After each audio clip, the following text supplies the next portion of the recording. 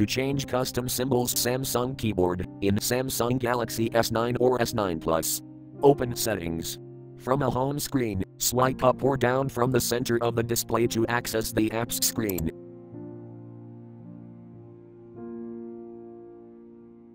Tap Settings.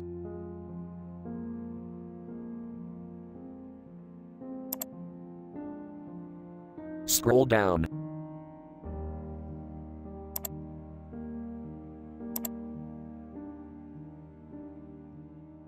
Tap General Management.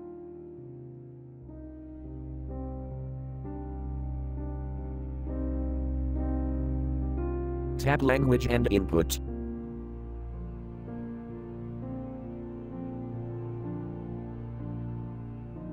Tap on Screen Keyboard.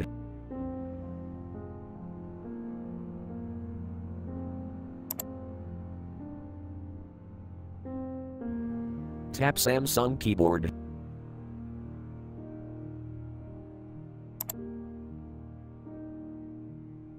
Tap Keyboard Layout and Feedback.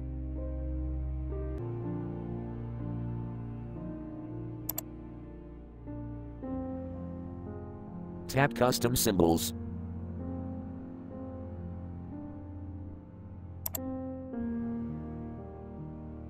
Tap the symbol you want to change, then replace it by tapping a new symbol on the keyboard.